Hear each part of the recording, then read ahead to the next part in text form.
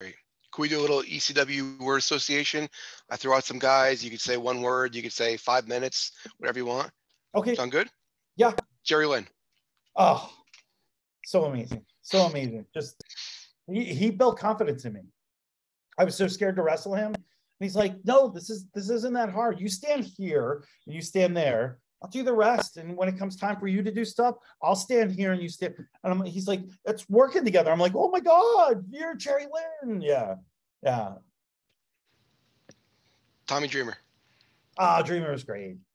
Dreamer was a guy that you loves could argue with and um, be mad at and like argue your point, but at the end of the day, like you know, you knew his his point and his stuff was uh always from a good place. And you know, sometimes it took me, you know, we when we're older, we really think of like stuff that doesn't bother us that we shouldn't have worried about 25 years ago and stuff like that.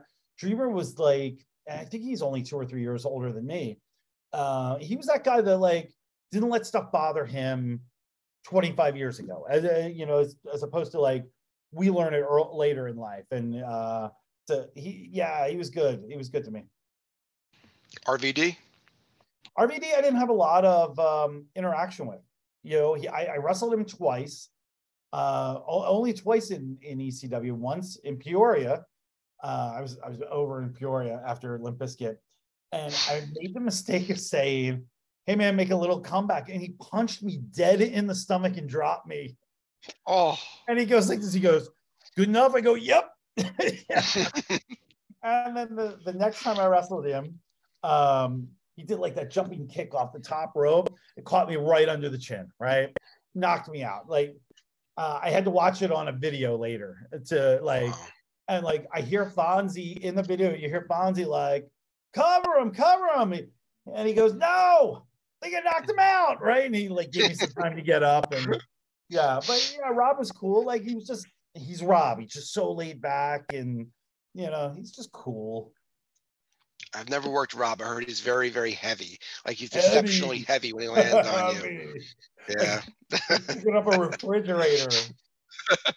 Yeah. Oh, Uh, Sandman would do things where, you know, he, he would come up with these scenarios, and they some of them didn't make sense, or you know, he was so smart, but like he was so dumb at times too. And you'd be like, even Raven would have these conversations of like, whose IQ is higher, and I'm thinking, well, I don't even want to hang out with either one of you. But um, but Sandman was he was fun. He would like he would have these conversations on the road with you that like he'd ask you like I you I remember when we met I worked in a dairy. I, I worked for a while at dairies while I was still you know trying to break into independent wrestling.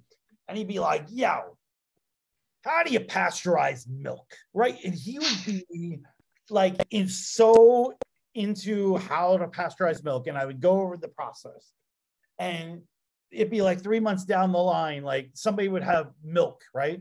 He'd be like, huh, yo, let me tell you the pasteurization system of this milk here. And this, and like, he, he was one of those guys that like loved knowledge. He, he played chess in, in the locker room. And, uh, you know, by beer 36, like, you know, he was still playing. And, uh, but he, he was a lot of fun. He was just a, you know, he just loved to be out there and entertain people. That That's all he cared about was just make sure that people went home happy.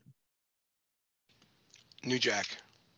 New Jack was good to me. Man, I, I I tell people I feel like New Jack was good to me on the basis of he had so much respect for Jack Victory that like I got over with him by default. And I also knew that like if we're doing New Jack's match, it's you're doing New Jack's match. You know, go where he says to go. Like let him lead. And I, I never he- I bet you it was the third or fourth time I wrestled him that like he asked me for an idea. What do you want to do here? Okay, here. How's this sound? Great. But it, like I had to build that trust in him. And um, uh, the only time he ever hurt me was we were at a show, and this is wild story. Um, we were at a show in Minneapolis, I think it was, and we're doing like this eight man brawl, and there's blood and everything. And he has this shovel that I feel like a fan brought, or it was out, you know, and he sees me, and I'm, I'm like, oh, I'm taking the shovel, right? But to me, it looks like a plastic shovel. And you know, back in those days, we were so dumb, we didn't put our hands up or anything like that. But I think the way he did this was he was trying to tell me, like, hey, dummy, this is a real shovel. Like, protect yourself. Plunk. Oh, and it hit me. And you know, like how when you get really cut, like it feels warm and everything. And I hit the mat and I could just feel the, like the blood going on my hands. And I'm like, and I knew I was wrecked. And I was like, oh, so like I just wanted to roll out of the ring, but there's eight people. So like I'm thinking, let me just go under the ring for a second and like catch my bearings, see how bad this cut is, and I'll go. And I remember rolling under the ring and I'm just trying to catch my thing. And I look over and there's Sandman. And like, I can't get any words out of my mouth. And I hear, yeah, what are you doing here? And I go, you just hit me with a shovel. He's like, ah, oh, you want to roll out the other side? I go, yeah. So we like roll out the other side and we just start wrestling. And it took me years to go like, the hell was he doing under the ring? Like he wasn't in the match. He was in the match, but like, okay. where did he like? You know, where did he just decide like how long has he been under there? Like I don't know. I wasn't paired off with him at the time. And I get back and like I'm trying not to sell because like yeah, New Jack's a tough guy, and I didn't want him to think like I was blaming him. And he comes back and he's like, stand up. And I'm like, oh, here we go. And uh, he t- takes my hand, and he looks at it, he's like, oh, why didn't you put your hands up? I go, my fault. I thought it was like plastic and right.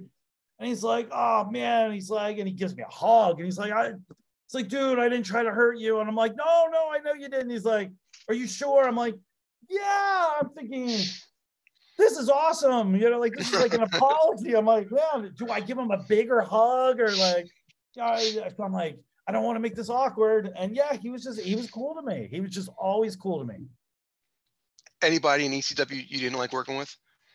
Um, no, no, I, I there was, you know, they had so many, so much talent. Um, you know, a guy I wish I would have worked with more, especially when I was coming up. Um, when I was starting to get the push, I really wish um, uh, I, I would have worked with Chris Chetti more. Like I loved working with Chetti, and he was a guy that like when I first started in ECW, um, you know, I'm wrestling Nova a lot, but I know Nova, and um, I don't know Chetti. Like I've I've watched him, and I know he's Taz's cousin. He's got a rep for you know being a legit tough guy. So you know, the first few times I was like, man, I wonder if this guy's going to put it on me. I'm the new guy. Uh, and he was just cool and had fun and like he just wanted to put on good matches and uh, like I really really enjoyed like working with him. And then I always wish that like man, I wish we could have these matches higher up on the card, you know, when we're both established. And um, yeah, it just never came. Like, but he was, I, I feel like he was very underrated. Um, but yeah, then I got I got chances to work with the Jerrys and the Justins and the Candidos and uh, you know, they they put Tajiri and Rhino with me. So like, um, you know, I, we we would get to work with Super Crazy and and uh, all these all these different styles. And it's getting dark here, so I'm gonna turn on the light. Maybe not. I don't know. I'm still learning. I don't know. I find these lights at five below, and you know, I think I'm gonna become a podcaster. And now it looks like it's foggy in my house. Wait, am I on mute? Nope, you're good. Okay. There we go. Yeah. So yeah, I, I just got so lucky. I don't know if you remember this. That's, oh, you're getting questioned. The lights above you, yeah. you know, like you're, like you're in interrogation. Yeah. I don't know if you remember this, but it was your son's, I don't know, second, maybe third birthday.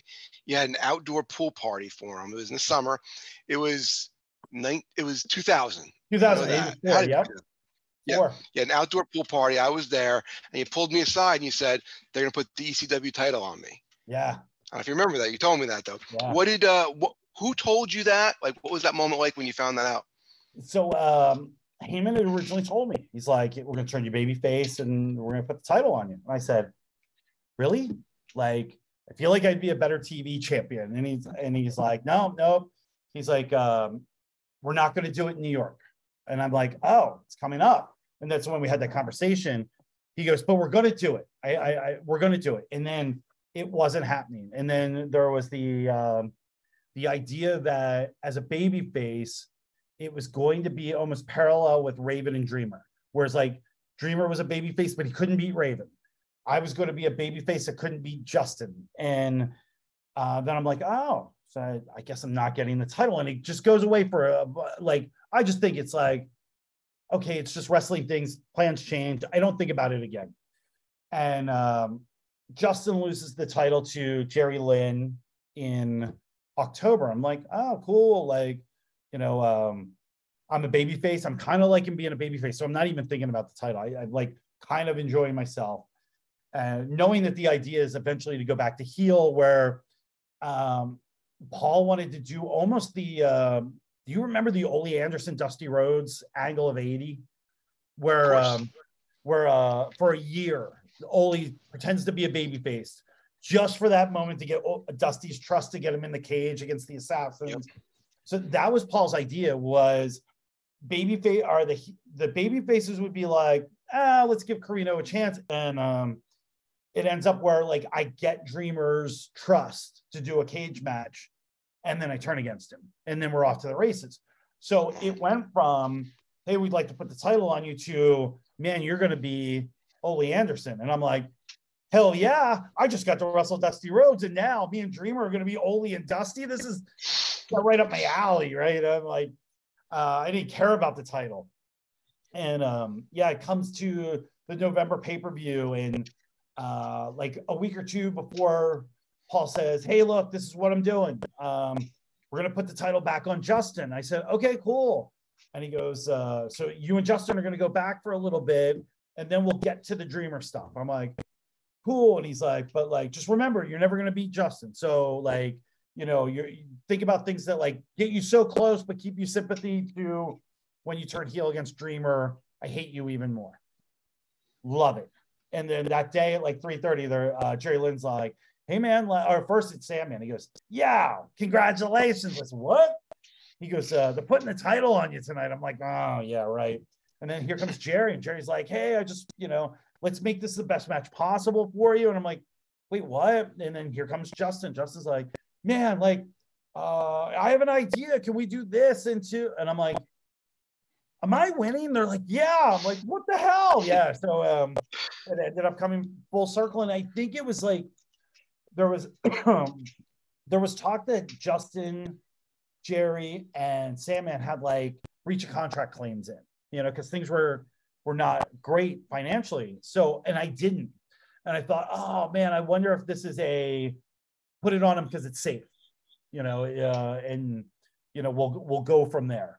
Uh, but uh, yeah, it was it was it was cool. It was it was really cool. I never got to do the Dreamer uh, in the cage thing though. Yeah, you never got to be Ole Anderson. Never got to be Ole. Now I just I'm just grumpy like Ole. Talk to me about the end of ECW. Um, sad. You, you like it's one of those things like you know I always say it's like a relationship. Like you know it's coming to an end, but like you don't want it to be an end you're thinking like, nope, something will come through, but like you know it in your heart that it's over, and you, you, it's just the day you accept it, the day you can move on and stuff. So um, yeah, there came a time where I, I just was like, ooh, I think this is the end, and like I just like mentally prepared myself of what's next, and um, I didn't want to dwell. I just wanted to be like, okay, if this is over, then it's time to move on, and like, what's my next adventure? Um, you know, because I, am already, you know, uh, what am I, eight year, no, seven years in, and I've done so much that I never thought I was going to do because my my only goal was to have one match, you know. So like, yeah, I am just it's all gravy right now. So uh, it it was sad because you didn't want it to end, but like, it was okay because um, you, you knew there was going to be tomorrow. The sun was going to shine. Oh, that's awesome. No, you were the champion going into the last show, the last no, pay per view. Uh, we yes, yeah, yeah. Yes. And you lost it to. I lost it in a ladder match to Sandman, who immediately lost it to Rhino. Okay. So I was third to last champion of that first era. So Rhino was on top when the place went out of business, not Boom. you. Yeah. yeah. Notice how I like say like I was third to last. Like, Yeah, like Rhino didn't beat me. He beat Sandman, who beat me. Yeah. Oh yeah, it was It all happened night, in the same 45 minutes, but, but but- Yes, yes. Yeah.